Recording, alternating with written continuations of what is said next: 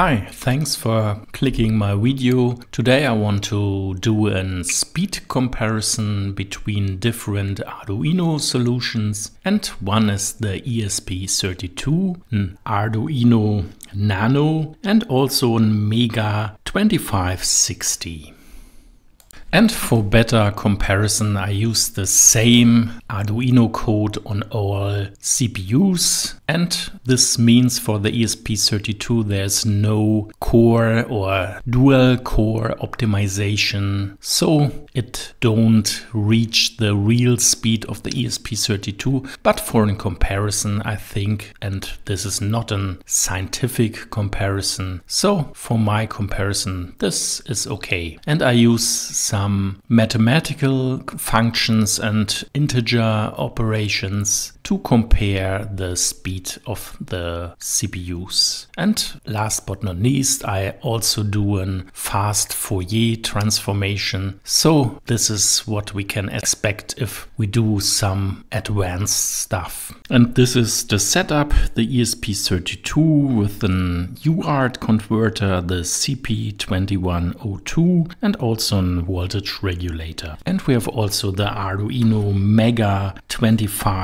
2560 with the Mega 2560 CPU and also an CH341 UART converter and some voltage regulating stuff on the board. And last but not least, we have the Arduino Mega with the Mega 328P CPU. And on the back side, we have also an CH341 UART converter and also an voltage regulator. So this is the sketch I use and the difference between the three platforms are only the speed of the serial interface and the interface are just for the Nano are reduced to 9600 baud. But this is not dependent on the measurement because the serial speed is outside the measurement. And then in the loop function I do the measurement and delay between some measurements one second. And we can see the measurement function just call the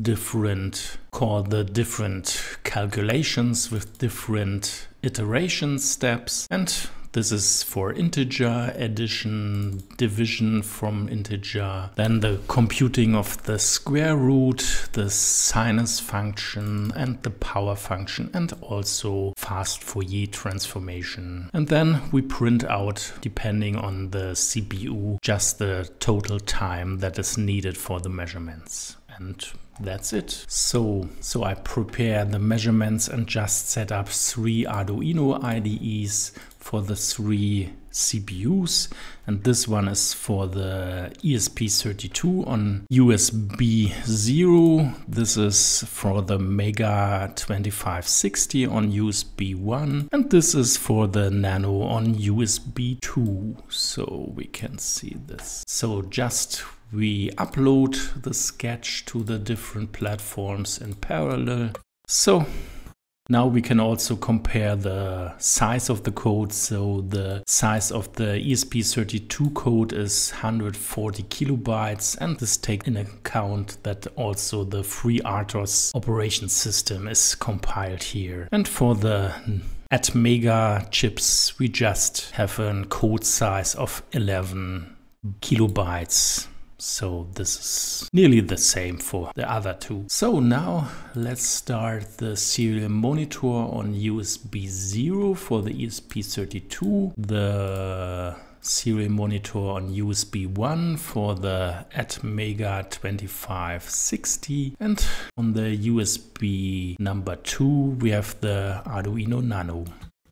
So we see the ESP32 just have iterate between all measurements a few times and all the other two are just calculating.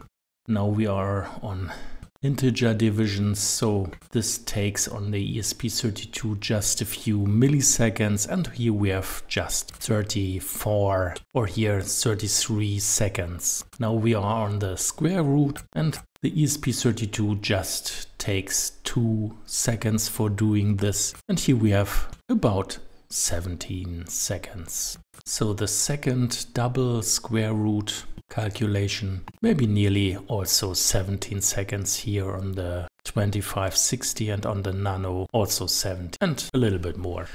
So, but I think the fast Fourier transformation is the longest time we need on the other platforms. Here is just 3.5 seconds for the fast Fourier transformation. And on the other, and compare the sinus function, here we have one seconds roundabout and here we have 13 seconds on the or 12.8 seconds. So we have more than 10 times more on the other platforms for calculation. So we're just waiting for the fast Fourier transformation, but as we see, it takes very long. So we are waiting and waiting and waiting.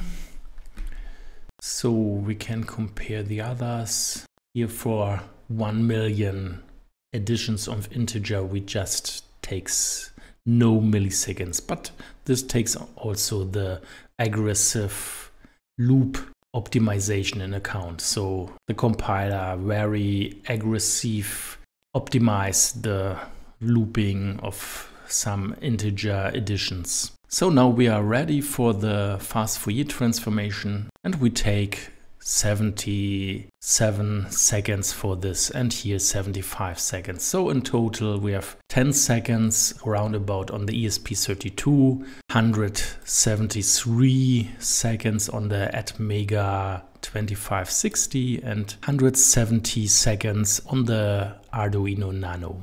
So on this speed comparison, the ESP32 is definitely the winner of the comparison and we only use one core. So maybe for some calculations you can double the speed of the ESP32. If you not doing Arduino, maybe you want pure ESP32 stuff. So I recommend using the ESP IDF framework. So thanks for clicking my video today and I hope you find this interesting or enjoy the video and maybe learn something. So thanks for watching today. Give me some comments or thumbs up and see you next time. Bye bye.